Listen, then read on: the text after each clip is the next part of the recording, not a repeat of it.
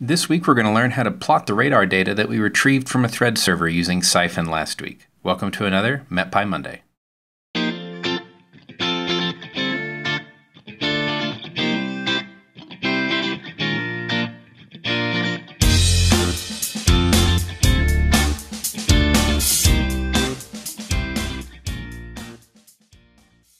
Hello, I'm John Leeman, a software engineer at Unidata. On this week's MetPy Monday, we're going to continue our radar data theme and learn how to make a basic plot of the radar data that we were able to retrieve from uh, a THREDDS radar server using Siphon last week.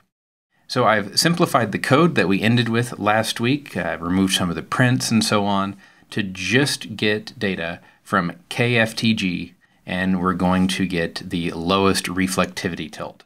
So if you haven't watched last week's MetPy Monday, be sure to check that out so you understand what's going on here. As usual, we're going to have to do some imports because we are going to need uh, several different tools to make this plot. So the first thing that we're going to need is a mapping library, which is going to be Cartopy. We're going to import matplotlib for our plotting. So import matplotlib pyplot as plt. And we're going to need numpy. And we're going to need the dataset object from CDM remote in Siphon.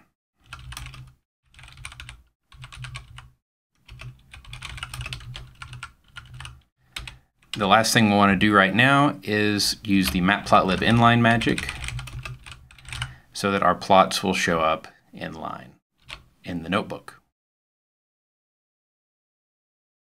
So for just making a plot of one of the files, you remember we retrieved the last hour of data, let's just grab one of those. So data is our query catalog sets. We'll just get the, the first one. We don't really care which time step we get right now.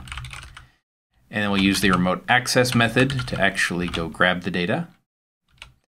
And let's look at a list of the variables that are available to us in the data. So we went and downloaded the data. We see we have elevation, azimuth, gate, latitude, longitude, altitude, time, raise time, the raw reflectivity, and the processed reflectivity values. So out of those, we know that the field that we're going to want to plot is the process reflectivity. So I'm going to go ahead and store that as a variable so we could change it later. So it is going to be base reflectivity dr. We're going to need the range and azimuth as well as the actual uh, reflectivity data. So we can go ahead and pull those out of this netcdf looking data structure. So the range data, and you notice range highlighted as green, that's a reserved word in Python. You can create a range of numbers, a list. Uh, so we have to call it something else, range data. Data dot variables. That's going to be the gate variable. And we want all of that data for azimuth data dot variables azimuth remember tab completion we're going to make an empty slice and then I'm, I could call this reflectivity data, but I want to make it more generic in case we wanted to change this to uh, velocities or uh, correlation coefficients or something later.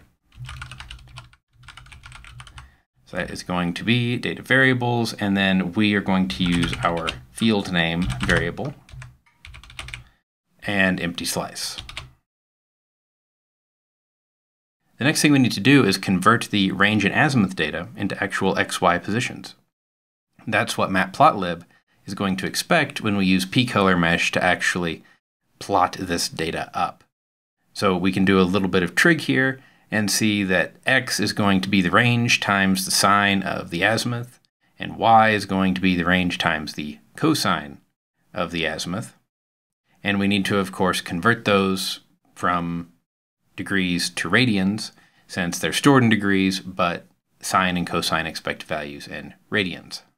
So let's go ahead and do that.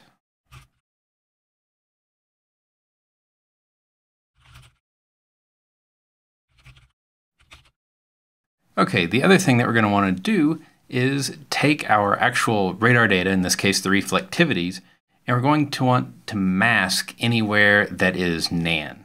So somewhere where there's missing data, we want to go ahead and make a NumPy masked array out of that so that it doesn't try to plot up in our p-color mesh. So to do that, we'll say radar data numpy.maskedarray.array. We're going to use our existing radar data array, and the mask is going to be anywhere that radar data is nan. So the next thing we need to do is tell Cartopy or Matplotlib what the projection is that we're going to use.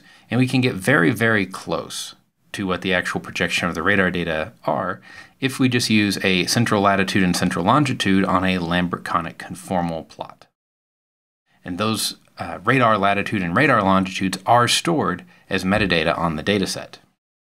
So we're going to say our projection variable proj cartopy.crs coordinate reference system is going to be Lambert conformal.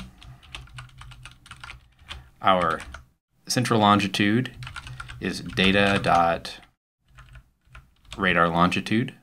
Again, remember tab completion makes looking through this metadata very easy. Central latitude is data dot radar latitude. Okay, so now let's actually make a plot. We'll make a figure object.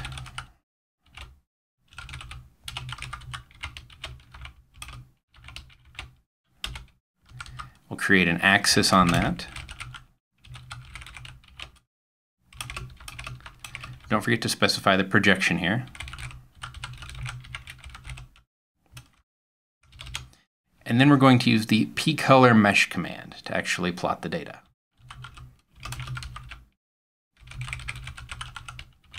So we're going to give it the X and Y positions, our data, and we're going to make sure that our data plots on top of any map elements by specifying that we want the zeroth z order, this top layer here.